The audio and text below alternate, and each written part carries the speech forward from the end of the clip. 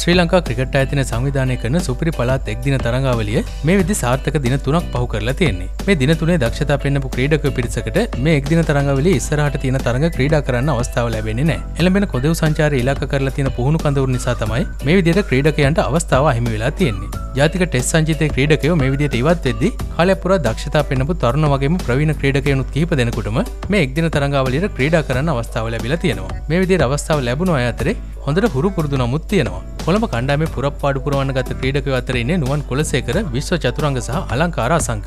මේ අතරින් විශ්ව තමයි නවකයා. අනි දෙන්නම දේශය පිටිය හොඳට වැඩ පෙන්න්නපු දෙන්නෙක්. තඹුල කණ්ඩායමට ක්‍රඩකයෝ කිහිප දෙනෙක්ම කැදවල තියෙනවා. ඒ තමයි සහන් ආරච්චිගේ හිතරුවන් විතානගේ සඳුන් වීරක් කොඩි බිනොර ප්‍රනාාන්දු සහ කෙවින් කොත්තිගොඩ. මෙතින කෙවින් කියන හරි අපූ ඉරියාවක් තියෙන පන්දු යවන්නේ නුවර කණ්ඩායමටත් ක්‍රඩකයෝ තුන් දෙනෙකුට අවස්ථාව හිමි වෙලා තියෙනවා. ඒ තමයි ක්‍රෂාන් සංජුල නුවන් තුෂාර සහ ජනිත් සිල්වා මෙතන නුවන් තුෂාර ගොඩක් අයදන්න පොඩි මාලිංග කිව්වම ගාල කණ්ඩායමටත් මේ විදිහට ක්‍රීඩක තුන් දෙනෙක් අලුතෙන් එකතු කරගෙන තියෙනවා. ඒ අය තමයි ධම්මික ප්‍රසාද්, ඔසන්ද ප්‍රනාන්දු සහ තුෂාන් වීරක්කොඩි. ධම්මික ලොකු කාලයක් ආබාධයන් නිසා ක්‍රිකට් වලින් ඈත් වෙලා ඉඳලා තමයි දැන් දේශීය පිටියේ දක්ෂතා පෙන්වන්න ආරම්භ කරලා තියෙන්නේ. ඉතින් මේ අලුතෙන් කැඳවපු ක්‍රීඩකයෝ ගැන ඔයා මොකද හිතන්නේ? ඔයාගේ අදහස අපිට කමෙන්ට් කරන්න. ඒ වගේම මේ වීඩියෝ ක්‍රිකට් වලට කැමති ඔයාගේ යාළුවෙකුට බලන්න ෂෙයා කරන්න අමතක කරන්න එපා. ඔයා තවමත් අපේ channel එකත් එක්ක එකතු වෙලා නැතිනම් අපේ channel එක subscribe කරන්න.